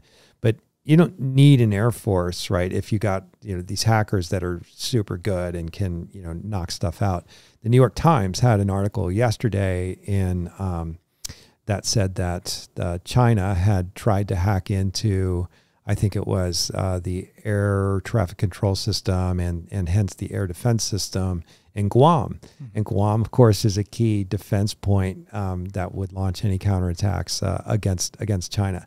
I absolutely think the next uh, the next Pearl Harbor starts with a cyber attack. Uh, well, that's at least there was some theories that that was what was happening with Russia. They were trying to take out uh, GIS for artillery and and other systems as well. But but what I mean, the fascinating thing is, is that the crowdsourced nature of that, right? So then you had you had hackers going back against Russia who were doing it just to get back at right. They weren't mm-hmm. necessarily Ukrainian; they were people from all yeah, over the world, over and the and so it's super fascinating to see that.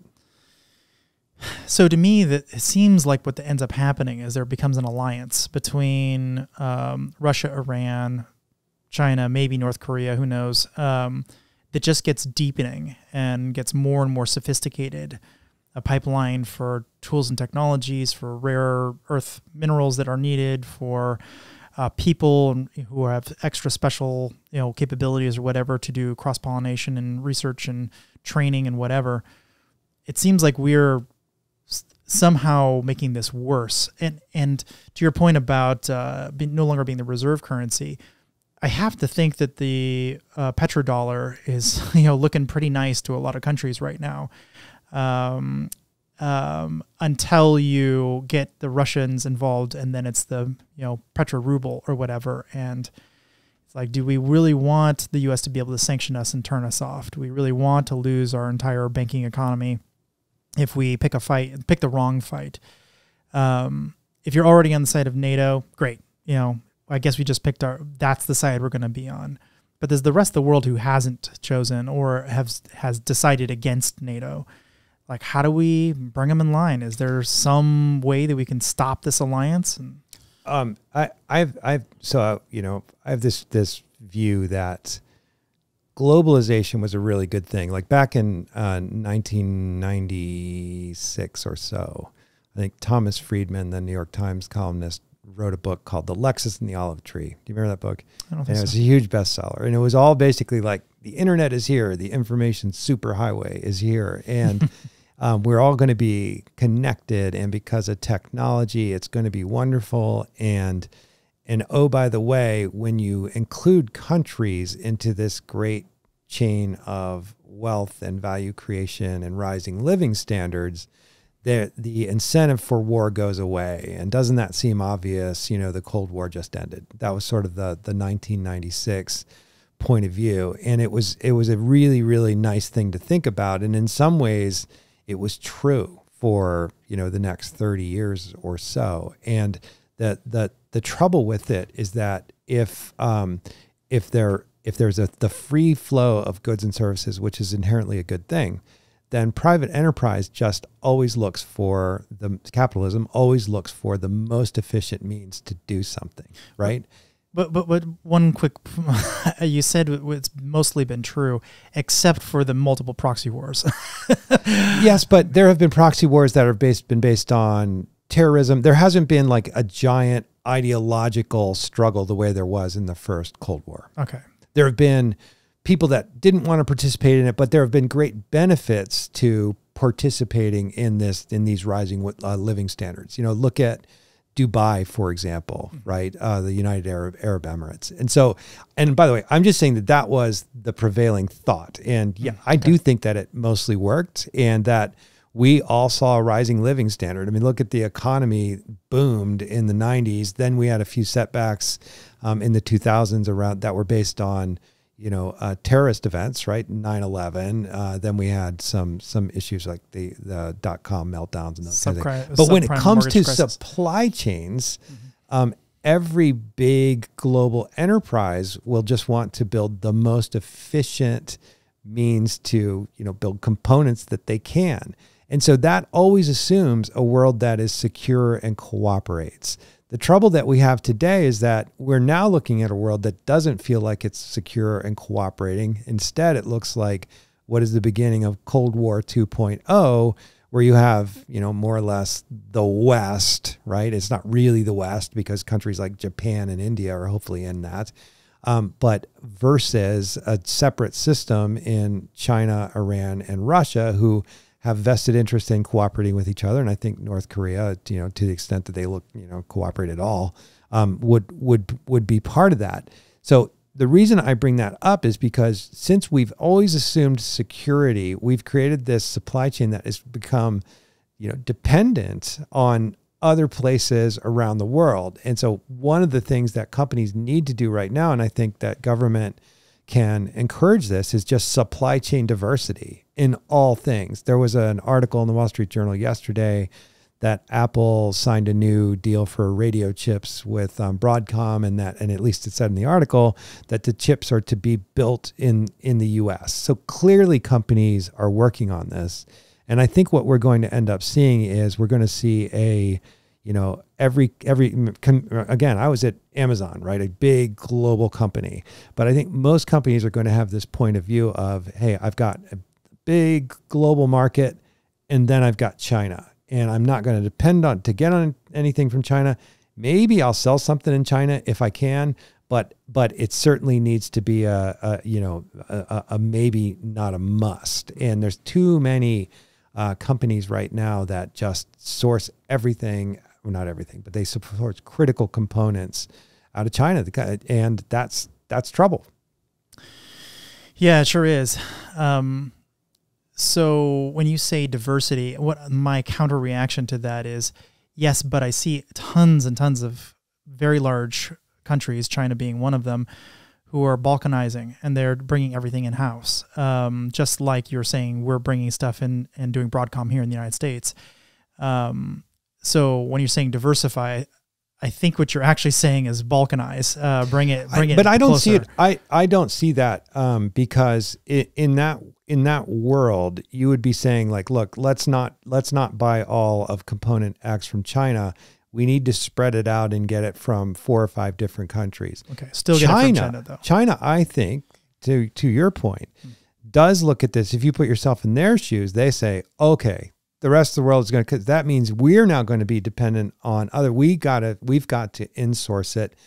But who's who's where would you rather be? Would you rather be part of the global economy where there's lots of different um, choices and competition, mm-hmm. et cetera, or the monolithic Chinese centrally planned economy, um, et cetera? So I don't, I think that that is, that is more or less a likely outcome. I mean, I, I don't even think it, I know it. Look at the wireless industry, for example, right? So Huawei was the second, I think they were the second largest manufacturer. They might have been third uh, they were neck and neck with um, Samsung and Apple, right? All of a sudden, they're they're way down the pipe because we said no, we we can't do this uh, with well, they're still very big in China, right? And and we will see that with um, with with chip fabs and all kinds of um, technological equipment. So I think let me rephrase what I think I heard now one of the pathways to make this uh, better for us is to not buy always United States, not buy always China, but rather split it. Some call it 50 50. I think, I think it's risk management. I think it's diversity in all things. Oil is another great example, but right? It's not, it's not just risk management, it's also um, showing China we're friends. We'll give you 50% oh, I, sure. I don't, right. I don't think that you have to be aggressive about it and say, we're going to, you know, cut everything. I know, and nobody's really done that yet, right? Nobody's tried to cut off the Chinese economy. There's not massive embargoes going on. There are in some strategic areas like like Huawei we talked about. But yes, I think that that can be managed. But but that means an active willingness to pay more for a component that comes from some other factory in some other country than the one that can be produced in China. And no shareholder wants to hear that, right? So it has to be a national effort that says this is bigger than just you know the, the the the share price or the bill of materials price. This is something that is strategic in nature that we have to protect. We have to invest in these other areas for supply chain diversity. It's so difficult when their quarterly earnings are how absolutely live right, and, live and die. Absolutely right. Um, yeah, that's probably a whole other big topic we should cover off on someday. But um, so this Chinese spy balloon, um, or balloons, I should say, because there's probably been a whole bunch of them. Um, it seems like China was kind of being nice for a, like I don't know, maybe a month or so. Uh, it's probably Ukraine related. It's not exactly clear. They were starting to say some kind of nice things, some kind of calmer tones and language, and then this balloon thing happened, and all of a sudden we're we're right back at it again. Yep. So what what happened? Um, so a, a couple things. First off, um, China has been that that area that is above it is called the Kármán line, right? Above above hundred thousand feet is more or less space, and you know any country can you know have low Earth orbit satellites above hundred thousand feet and be fine. Below that line is sovereign, right? So it was clearly a balloon that was in you know this sovereign airspace. But China has, for the last 15 years or so, been very interested in that altitude between, you know, 50 and 100,000 feet. They call it near space. And they believe that, hey, if you can build a platform there with sensors on it, it can linger a lot longer than, say, a low Earth orbit satellite, which, due to physics, has to go really, really fast.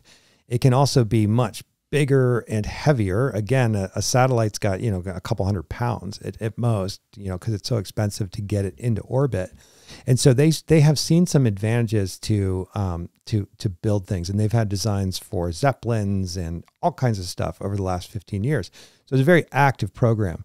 But politically, what you're talking about, I think what was um, disheartening about it is that you're right. In that period, um, Tony Blinken, the U.S. Secretary of State, was scheduled to go to China for you know to kind of warm relations a little bit when they and they'd been pretty darn cold, and this balloon program is run out of um, a, an area in southeast China, very close to Taiwan, called Hainan Island, and Hainan Island is the home of the Strategic Support Force. This was Xi Jinping's like um, pet project was to create this this force that that does a combination of space and cyber, and it's sort of like this this next generational frontier warfare. Well, those are the guys in charge of the the spy balloons. And what happened, I think, is that while it looks like Xi Jinping is, you know, always in charge and always knows what's going on and approves everything, the Chinese Communist Party actually has several um, competitive political entities within it, including the People's Liberation Army, the PLA. And Xi Jinping made a couple of uh, moves, you know, over the last couple years in the various Chinese Communist Party congresses to get people out of the way, you know, to kind of like bring the PLA to heel. And something I think that is a foreign concept for for Americans to to understand is that the PLA doesn't swear an oath to a constitution, right? It, it, it swears an oath to a party, to the Chinese Communist Party. And so there's this competition within the party as to who's in charge. And I I I have read that one of the things that could have happened was that there was a bit of left hand not talking to right hand that the, the SSF down in Highland Hainan Island launched the spy balloon stupidly, you know, the week before um, Tony Blinken was to visit, but also possibly purposefully to sort of show, you know, to to cast to, to change the the dynamic of relations with the Americans because they they are a little more aggressive. What the telling thing is that Xi Jinping, you know, could have could have said, you know, we're sorry, but he didn't, right? They he he sided effectively with his own military, and I think that that was because he had to um, to to continue to stay in power. So really unfortunate event.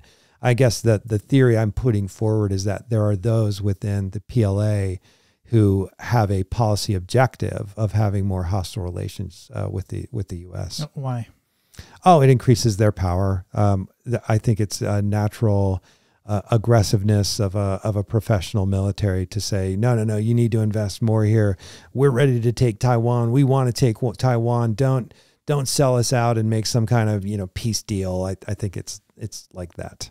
Interesting. So you think there's enough hawkish um, pocket vetoes going on here? I do. I do. Oh, I think it's. I just think in a in an organization that large and political that that I think there is some of that um, under the covers. Every now and then it slips out into into public. Um, I think some Chinese general was caught or admiral was caught boasting uh, not right around the the balloon episode where it's like hey all you taiwanese just you know get ready this is your new reality we're coming i mean really bellicose language that hey if an if an american general said something he'd be fired right he'd be Right. gone tomorrow a hundred pr people would descend on the pentagon and come up with the right messaging as to how screwed up he was et cetera whereas i, I think that there there is a large contingent within the PLA that's that's aggressive. Interesting. It seems like that would be something Xi Jinping would do. Uh, maybe let happen once, and then never, ever, ever, ever let that Could- happen ever again.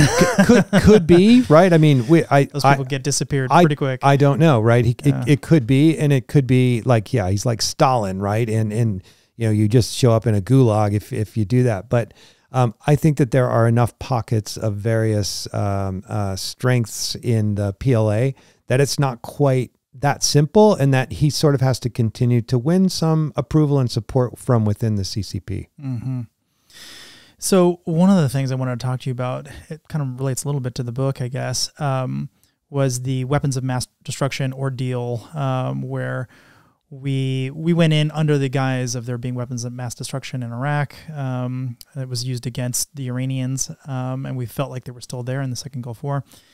Sort of the impetus for starting the war. um, but it, from what I've read recently, I'm, and I'm getting more and more signals that this is what actually happened. Most people inside Iraq actually did not know that they didn't have weapons of mass destruction.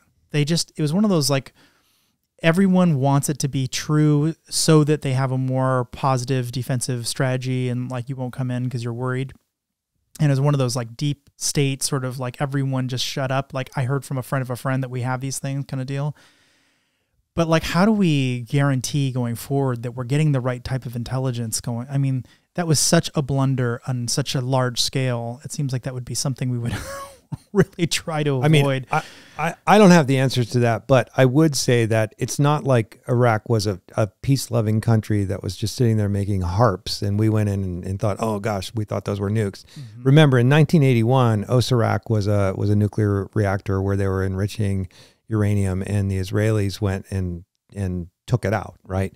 Throughout the uh, 1990s, um, Iraq was thwarting the efforts of the IAEA quite aggressively, right? And and constantly saying, "Oh no, no, we're working on it, but it's but it's peaceful," just like we're seeing with Iran today. So they they sort of I think that they wanted to create um, that myth to a certain extent, and you sort of look back and go, "Gosh, that."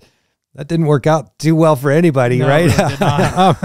Um, uh, it- but I, I think to your to your to your point, how do you make sure that that, that doesn't happen? I mean, how do you make sure any intelligence is perfect? I, I think it is. It, it's always going to be um, open to mistakes. There are some observations, I guess I would I would make is that um, one of the reasons that we have 16 or 17 intelligence agencies is that there's an encouragement for um, for diversity of thought as opposed to to groupthink. Um, there's also specialists and specialties that come from you know all these different uh, disciplines, and so at the end of the day, you're trying to put this stuff together into a cohesive puzzle. Now, back in the day, that was the CIA's job under George Tenet, and um, he that what happens is is that uh, we actually commissioned something called a National Intelligence Estimate or an NIE, and that's central um, in this book. And in that NIE, the um, CIA's National Clandestine Service actually has the job of going and vetting all these sources and and basically signing off on it. And that we went through that all that all that rigor and still ended up um, where we did. So I think it's always going to be a uh, a big challenge. I don't know that it's ever going to be perfect.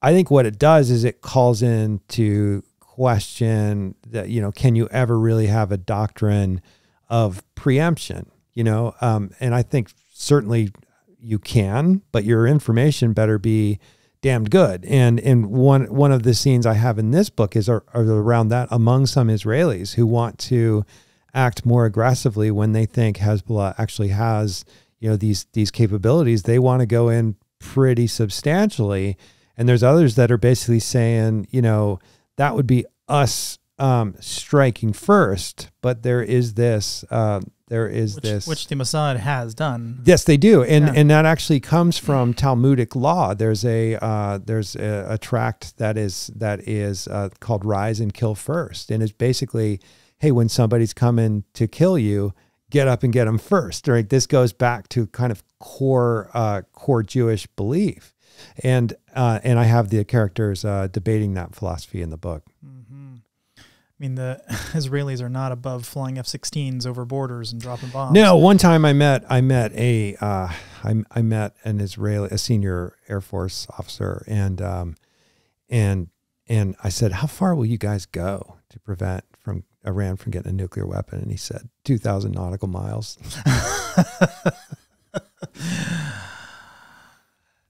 He just needs more tankers in the Yeah, way. Go right, further. we can help you. yeah, yeah, yeah, yeah.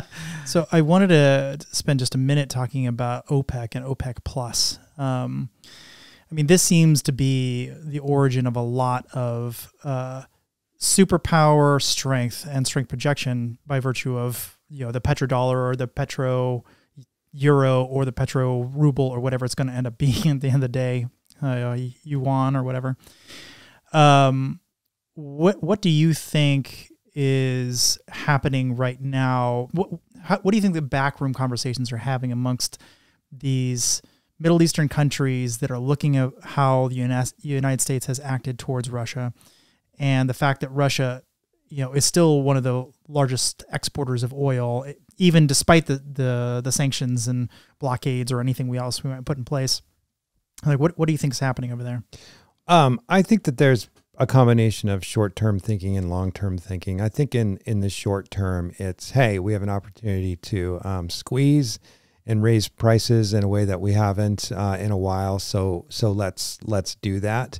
Um, but I would I would I think it I think something that's really interesting is is what's been happening in the UAE and Saudi Arabia. So so Saudi Arabia traditionally one of the world's largest uh, producers of oil, right? Saudi Aramco.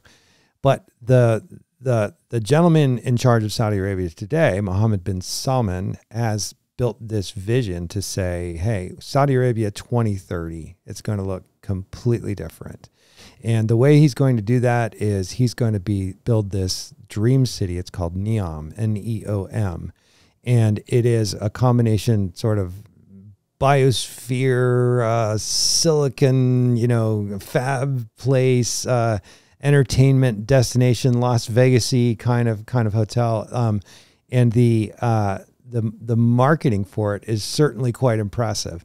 Uh, the vision behind it, I think, is is very interesting and telling in that they're they're looking at the world and saying we we can't you know we, we can't just function and be a, an oil exporter forever in, into the future. Even though yes oil will continue to be important it will be less so when we can't just you know jack up prices and see you know the price of the pump go up by a dollar and then politicians you know react kind of instantly right? Um, because when everyone's driving uh, electric cars or alternative energy sources that's that's no longer that's no longer a thing.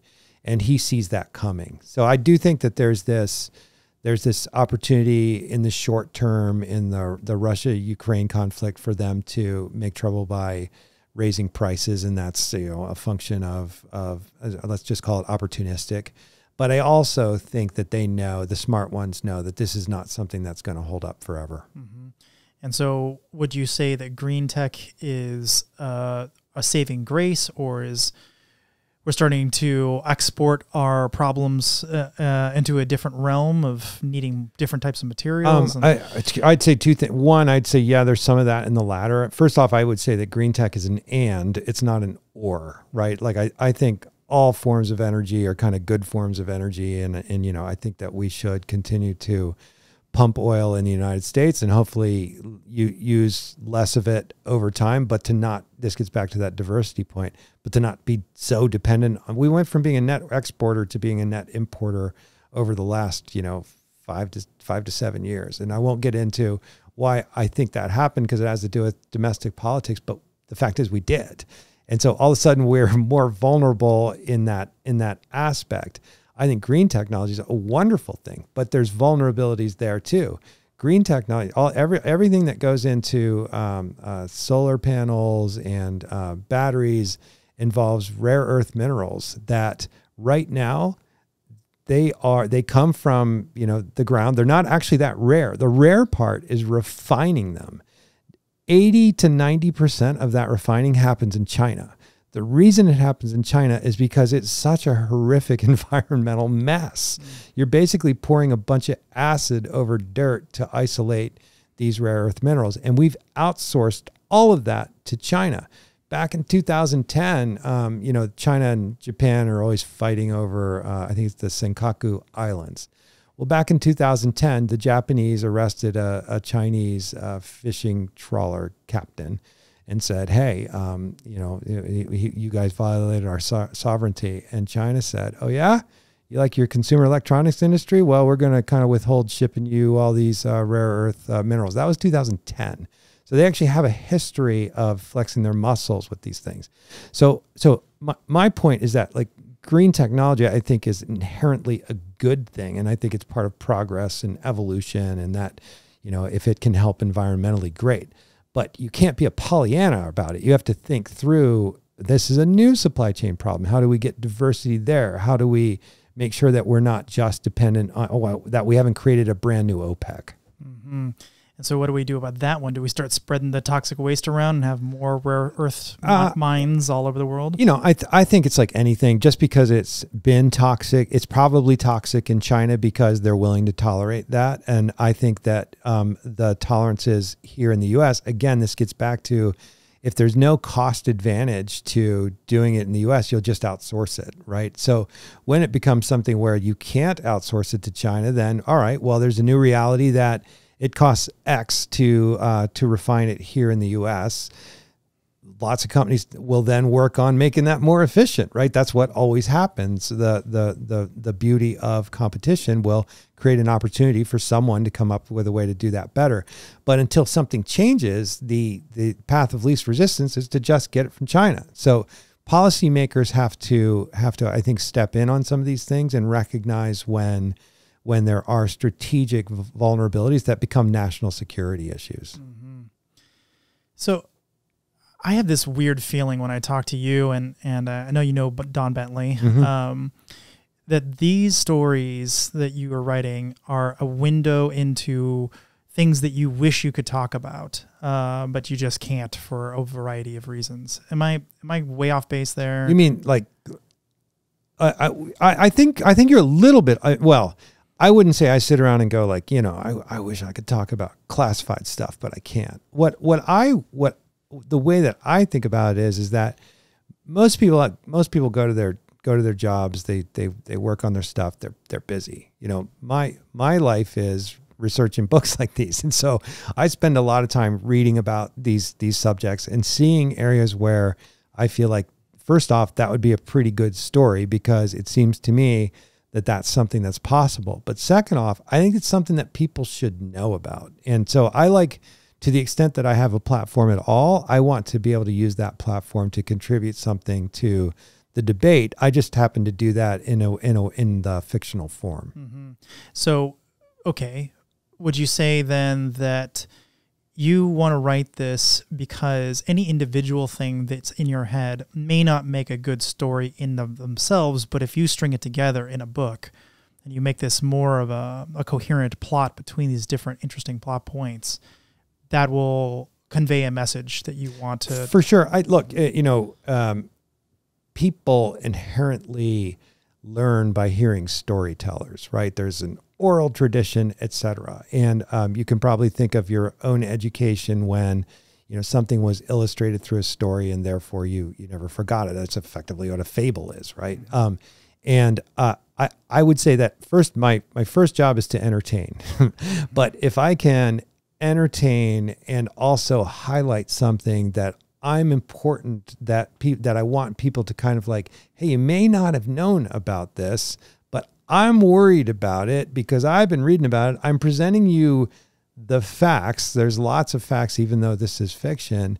and I'm dramatizing it to make it to make it entertaining, but also to illustrate the point. how accurate is your book? Would you say like because a, lot of a lot of times you'll like watch a movie and you're like, that just would never in a million years actually be possible. That team doesn't exist. That company doesn't exist. That kind of thing. Um, how how realistic do you try to make your stuff? Um, I I strive very hard for authenticity. Uh, I do. I think it's my um, it's my niche. Uh, there are other. Look, uh, one of the challenges when you're when you're writing fiction, uh, when you're writing a, a, a, novel, is you go, okay, how do I get character A to to get you know across the world to to be in this scene. You know, how, how's that? I know. I'll just put them in an SR seventy one, and they just happen to strap in. You know, or you know, like how would he find out that? For I know. I'll just give him an amazing hacker that can just figure that out, right? And so. I try to remove all that magical thinking and try to make it much more around. Wow, this is a this is a gritty problem.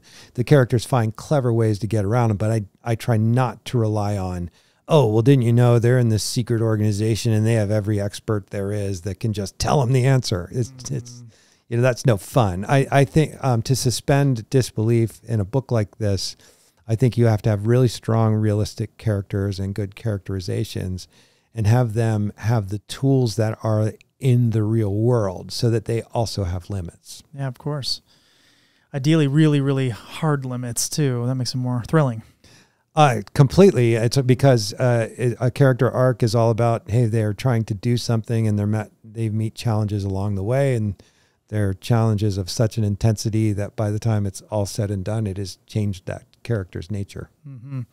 So, what would you say would be the major difference between the U.S. militaries or um, intelligence agencies and Mossad like, is there like one kind of key thing that you'd say their difference? Because it sounds like a big plot point is the is the contention I, between those two groups. I did I, I did a lot of research on Mossad for this book, and actually uh, met a few former Mossad officers. And um, w- one of the th- there are several things I think that that make Mossad interesting. One is they Israel is a country of immigrants, about seventy five years old uh, and they have the advantage of having a really diverse population of you know generally Jewish people who have fled other places to be in this um, in this Jewish homeland. So they've got people, you know, they've got people that speak all different languages, that have all different skin colors, etc. That that's really good for an intelligence agency because they can turn around and and, and make those into um, in, into embedded uh, embedded people. Um, the other thing that I thought that I wanted to present in the book is that um, is to show the challenges that Mossad itself has in the way that it's organized. So there's a an operational wing called um, Caesarea that uh, then works with the military intelligence wing, which is called Aman, and and their their version of the NSA, which is called Unit 8200. And I wanted to illustrate um, the way that those three organizations would operate with each other. And then they also have a fourth one, which are um, special forces uh, that they call bayonets, as well as their Navy SEAL team, which is called Flotilla 13. And I wanted to show that, yeah, they they're a, they have they have these highly specialized professional organizations that that all come together. That always leads to challenges too, right? Just like it does for for the U.S. Anytime you've got multiple organizations going on, you've got joint operations and frustrations and differences of opinions and communications challenges. And I wanted to show that Mossad isn't magic. They've got amazing capabilities spread across these divisions, but they've also got the classic challenges of just people working together. And that, that was that's a big theme in the book.